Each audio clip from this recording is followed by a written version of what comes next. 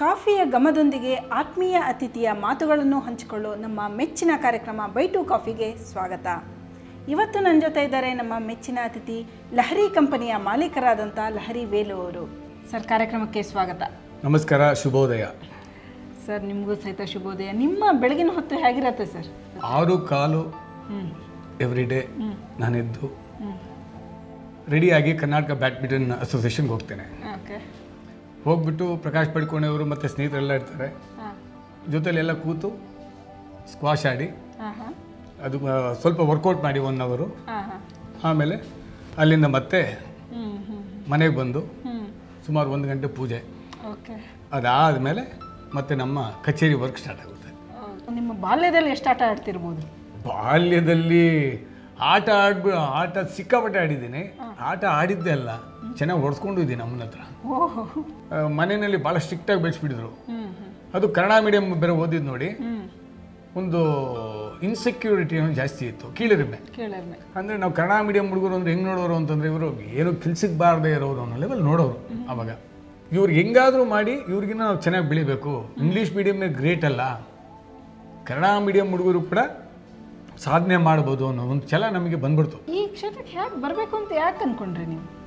ನಿಮ್ಮ ಮನೇಲಿ ಯಾರೂ ಇರಲಿಲ್ಲ.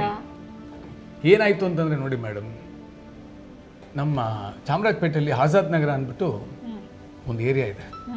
ಅಲ್ಲಿ ಒಂದು ದೊಡ್ಡ ಪಾರ್ಕ್ ಇದೆ ಇವತ್ತಿಗೂ ಇದೆ. ದೊಡ್ಡ ದೊಡ್ಡ ಮರಗಳು. ಅಲ್ಲಿ ನಮ್ಮ ಮನೆ ಹತ್ರ ಇತ್ತು. ಪ್ರತಿ ಸೋಮವಾರನೂ ಅಲ್ಲಿ ಅನಂತ ಸ್ವಾಮಿಗಳು ಕಾಳಿಂಗರಾಯರು ಮತ್ತು ಎಸ್ ಪಿ ಬಾಲಸುಬ್ರಹ್ಮಣ್ಯಂ ಅವರು ಅಂತ ದಿಗ್ಗಜ ಗಾಯಕರು ಬಂದು ಇಲ್ಲಿ ಆರ್ಕೆಸ್ಟ್ರಾ ಮಾಡೋರು ಆ ಆರ್ಕೆಸ್ಟ್ರಲ್ಲಿ ಏನು ಹಾಡುಗಳು ಕೇಳಿದ್ವಲ್ಲ ಅಲ್ಲಿಂದನೇ ಜ್ಞಾನೋದಯ ಆಗಿದೆ ನಮಗೆ. ಸರ್ ನೀವು ಹಾಡು ಹೇಳ್ತೀರಾ? ನಾನು ನಿಜ ಇಲ್ಲ ಮೇಡಮ್. ನಾವೆಲ್ಲ ಬಾತ್ರೂಮ್ ಸಿಂಗರ್ಸು. ನಮ್ಮೆದುರುಗಡೆ ಒಂದು ಸ್ವಲ್ಪ. ಎಲ್ಲ ಕೇಳಲಿ ಎಂದು ನಾನು ಹಾಡುವುದಿಲ್ಲ.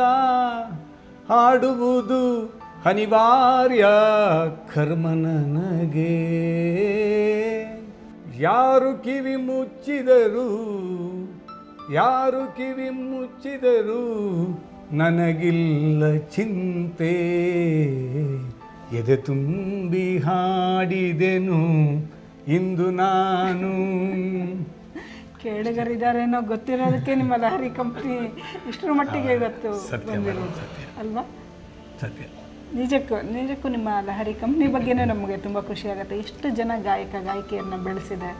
ಎಷ್ಟು ಜನ ಕೇಳುಗರಿಗೆ ತಂದು ನಮ್ಮ ಲಹರಿ ಕಂಪ್ನಿ ಅನ್ನೋದಕ್ಕಿಂತ ಇದು ಸಂಗೀತ ಪ್ರಿಯರ ಲಹರಿ ಕಂಪ್ನಿ ಅಂತ ಹೇಳಿಕ್ಕೆ ನಾನು ಇಷ್ಟಪಡ್ತೀನಿ ಮೇಡಮ್. ಓಕೆ ಸರ್ ನಿಜವಾಗ್ಲೂ ನಿಮ್ಮ ಜೊತೆ ಮಾತಾಡಿದ್ದು ನಮಗೆ ಖುಷಿ ಆಯಿತು. ಥ್ಯಾಂಕ್ ಯು ಮೇಡಮ್ ನಮ್ಮ ಲಹರಿನೂ ಸ್ವಲ್ಪ ಬದಲಾಯಿತು. ಖಂಡಿತ ಮೇಡಮ್ ಎಲ್ಲ ಲಹರಿನೂ ಬದಲಾಗಬೇಕು ಎಲ್ಲರೂ ಚೆನ್ನಾಗಿರಬೇಕು. I wish all the best ಶುಭೋದಯ. ನಿಮಗೂ ಸಹಿತ ಸರ್. ಲಹರಿ ವೇಲು ಅವರ ಲಹರಿ ಹೇಗಿದೆ ಅಂತ ನೋಡಿದ್ರಲ್ಲ? ನಾಳೆ ಮತ್ತೊಬ್ಬ ವಿಶೇಷ ಅತಿಥಿಯೊಂದಿಗೆ ಮತ್ತೆ ಬೈಟು ಕಾಫಿ ಕಾರ್ಯಕ್ರಮದಲ್ಲಿ ಹಾಜರಾಗ್ತೀನಿ. ನಮಸ್ಕಾರ.